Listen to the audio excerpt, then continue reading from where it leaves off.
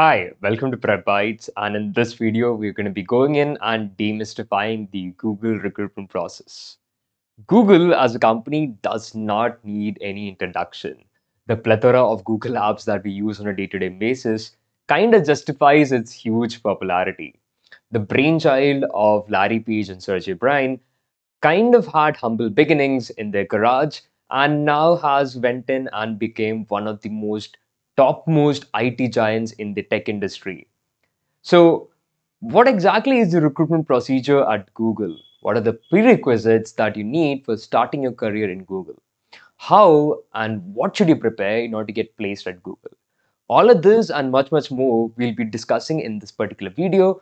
And in addition to that, we'll also be solving in some coding questions that had been asked in Google's technical round. So stay tuned and do watch till the end. If you want to know what is the recruitment procedure at Google, all it takes is a single Google search and you will be redirected to their careers page at google.careers. So within this, they have highlighted the entire recruitment process in which they have detailed all the rounds or all the steps that you'll have to go through. The very first step being that of self-reflection, where they're basically requesting you to go in and self-assess yourself so that you can go in and align yourself according to whatever requirements that they have. The next step would be that of job searching. Google has tons and tons of uh, recruitments that are going on live. So if you want to go in and see all the opportunities that are out there, all it takes is for you to go into their careers page and within the job within the titles or within the jobs panel, you'll be able to go in and add in certain uh, filters so that you can go in and see all the positions that they're hiring in for right now. Once you go in and you uh, see all the uh, job opportunities that they are hiring for, you can then move on to going in and applying online. The process again is fairly simple. Once you go into and have a particular job position in mind, you can easily just go in and apply online within their portal itself. So once this is done, you can then go in and wait until their staff members will be going in and getting in touch with you, telling you that you have entered their hiring process. So once this is done, the entire process of uh, technical rounds will go in and begin. So this is kind of where we want to go in and ask this question. What are the prerequisites for starting a career at Google? So first and foremost, one of the queries that people usually have is that is, is it important that I have a computer science degree so as to go in and become a Google software engineer? So the answer is fairly simple. No, you don't for most of the software engineering and product manager roles out there that are offered by Google, you don't need a CS or a computer science degree. Okay. Now, another prerequisite is something that you'll go in and understand once you move across and see all of these postings that they have put out over there. For example, if I look at software engineer 3, um, and if you read out the qualifications that are needed, there is going to be something that will go in and stand out and that and it's not only for this particular uh, profile but even in for all the additional profiles that are out there even if it is for senior software engineer and also in case of software engineer 3 for networking uh, data structures and algorithms seems to be a repeating pattern. And this kind of leads us to a, a third question altogether which is how and what should you prepare in order to get placed at google right? So uh, the answer is fairly simple. You need to be able to go in and work on your DSA or pretty much simple, uh, your data structures and algorithms. Along with this, having a really good grasp over your problem solving ability will give you that edge so that you can ace that technical round.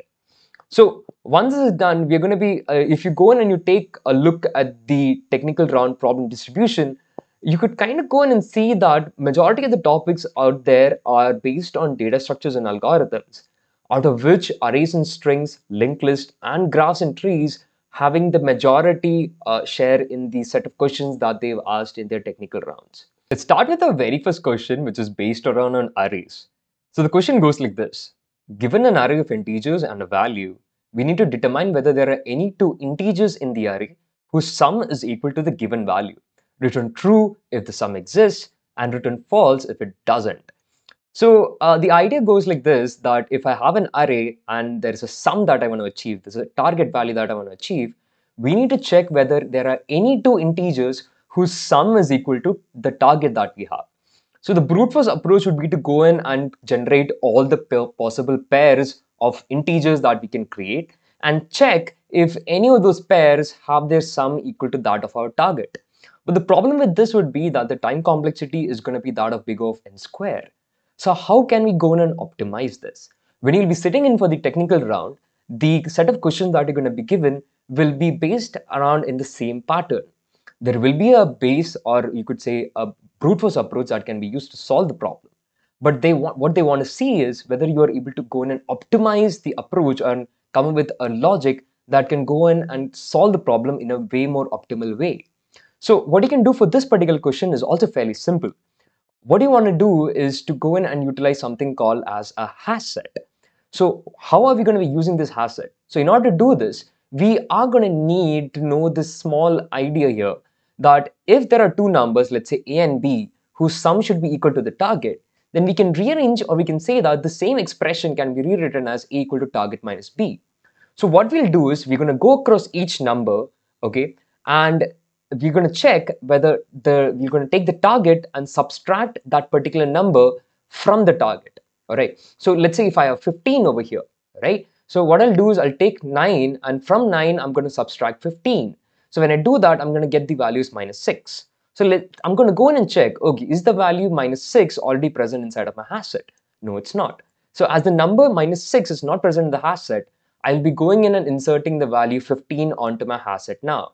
Okay, so every time the value is not present, if the target minus the particular value is not present in the hash set, we'll be inserting that value into the hash set as well. Okay, so this will mean that every value that we are going across will be inserted to the hash set and if the difference between the target and the particular element is already present in the hash set, this would mean that a pair exists whose sum is equal to that of the target. If I do the same for 11, so 9 minus 11 will be minus 2. I'll check in the hash set, is minus 2 present within my hash set? So minus 2 is not present. So I can go in and check it with the next number, which is 7. So 9 minus 7 is 2. And 2, as you can see, is already present within my hash set. So I can say that, yes, so there exists a particular pair, which is that of 2 and 7, which can go in and give me the sum as that of 9.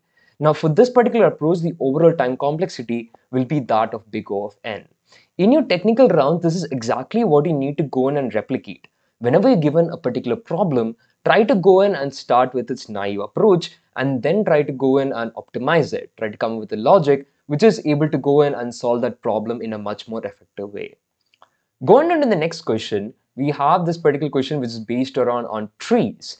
As discussed initially, most of the questions are based around on arrays and strings, linked list, and then that of trees. Okay, so this question asks us that given the roots of two binary trees, we need to determine whether these trees are identical or not. Identical trees have the same layout and data at each and every other node. So in order to understand how we can solve this particular problem, it's fairly simple. Uh, let's take an example of having two particular trees with us. Okay, so I've given the names as tree 1 and tree 2. So if two trees are identical, then I can go in and say that the data that is present at the root should be same. Root is the originating point, right? So the data at the roots must be same. The left subtree should be equal to that of the right subtree of both the trees that we have. Okay, so I can say the left subtree of tree 1 should be identical to the left subtree of tree 2 and the right subtree of tree 1 should be identical to the right subtree of tree 2. Okay, so if I compare the roots over here, the roots of both tree 1 and tree 2 are same. So now I need to go in and check whether the left subtree is same and the right subtrees are same. Now how do I check if the left subtree is same? Okay, now it's called a subtree, right? So if I look at the left subtree alone, which is basically the uh, subtree which starts with the root as 3, we kind of see the same repeating pattern. The data at the roots are same and now I want to go in and check whether the left subtree are same and the right subtrees are same. So we can go in and repeatedly take the uh, tree down and keep checking if the subtrees, the left subtrees are same and the right subtrees are same. So when we keep on repeating this, we see a recursive logic that can be utilized to go in and be able to check whether two trees are identical or not.